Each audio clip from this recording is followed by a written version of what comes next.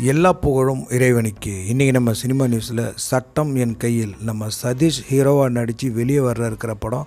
ஏற்கனவே நான் அப்டேட்டில் சொல்லியிருக்கிறேன். இது வந்துட்டு ஏ நம்ம கமலஹாசன் நடிப்பில் வெளியே வந்த படம். அந்த படத்துடைய டைட்டில் தான் இந்த படத்தில் யூஸ் பண்ணியிருக்கிறாங்க.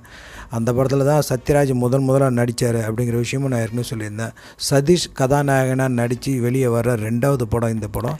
இந்த படத்தில் நம்ம சதீஷ் தான் ஹீரோவாக நடிக்கிறாரு. ஃபீமேல் லீடு ஹீரோயினாக வந்து பார்த்திங்கன்னா வித்யா பிரதீப் அப்படிங்கிறவங்க தான் வந்துட்டு ஹீரோயினாக பண்ணுறாங்க முத்தையா இவர் தான் வந்துட்டு இந்த படத்துடைய ஒளிப்பதிவு. இவர் ஏற்கனவே விஜயகாந்தோடைய சன் சண்முக பாண்டியனை வச்சு மதுர வீரன் அப்படிங்கிற ஒரு படத்தை டைரக்ட் பண்ணியிருக்கிறாரு. லிசா அப்படிங்கிற படமும் இவரோட தான் இந்த படத்துக்கு மியூசிக் இசை யாருன்னு பார்த்தீங்கன்னா ஜோன்ஸ் ரூபர்ட் அப்படிங்கிறவர் வந்துட்டு இந்த படத்துக்கு மியூசிக் போட்டிருக்கிறாரு. இந்த படத்துடைய டைரக்டர் சாச்சி இவர் ஆல்ரெடி வந்துட்டு பார்த்தீங்கன்னா சிக்ஸர் அப்படிங்கிற ஒரு படம் வந்துட்டு கொடுத்துருக்குறாரு. ஓரளவுக்கு நார்மலாக போன படம் தான். சதீஷ் வந்துட்டு இனிமேல் ஹீரோ நடிக்க ஆரம்பிச்சிட்டார் அப்படின்னா காமெடிக்கு வந்துட்டு யார் கவுண்டர் போட போகிறாங்கன்னு தெரியல.